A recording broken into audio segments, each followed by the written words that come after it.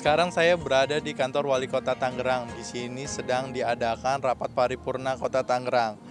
Rapat paripurna Kota Tangerang ini dihadiri oleh berbagai kalangan masyarakat, mulai dari gubernur, muspida, sampai berbagai lapisan masyarakat. Dan apa saja sih kegiatan yang ada di rapat paripurna tersebut?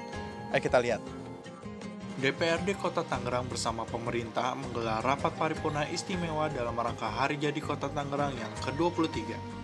Dalam rapat paripurna tersebut, DPRD bersama pemerintah Kota Tangerang bersinergi untuk memajukan Kota Tangerang di usia ke-23 tahun.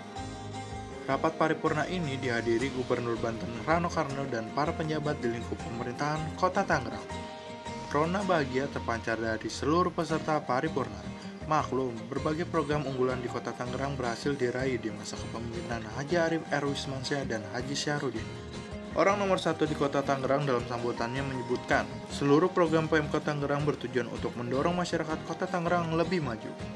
Sidang Dewan serta para tamu undangan yang kami hormati, melalui momen HUT Kota Tangerang ini, mari bersama kita eratkan semangat gotong royong dan kebersamaan di antara pemerintah Kota Tangerang, DPRD serta seluruh elemen masyarakat Kota Tangerang.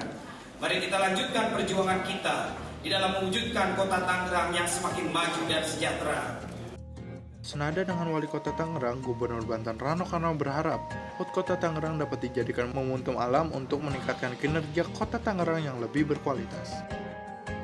Kami selama pemerintah Provinsi Banten menyampaikan selamat kepada pemerintah, daerah, dan masyarakat Kota Tangerang atas semua prestasi yang telah dicapai hingga usia ke-23 ini.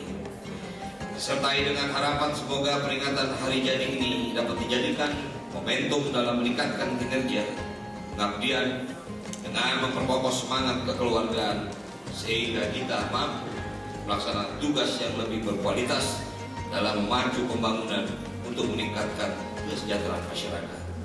Sementara itu, Sekretariat Daerah Kota Tangerang Dadi Budairi mengatakan, seluruh program Pemkot Tangerang bertujuan meningkatkan kesejahteraan masyarakat Kota Tangerang uh, ke depan tentunya kita menginginkan semua masyarakat Kota Tangerang bisa semakin sejahtera, semakin makmur dan uh, semua aktivitas pemerintahan bisa diakses secara mudah oleh masyarakat.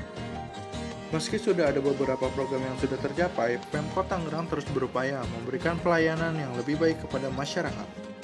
Program-program unggulan di Kota Tangerang telah diapresiasi oleh pemerintah pusat, di antaranya penghargaan WTP dari BPKRI berturut-turut serta predikat indeks kota cerdas. Seluruh program-program Pemkot Tangerang ini tidak ada artinya tanpa peran serta masyarakat. Ayo semangat untuk Kota Tangerang lebih baik.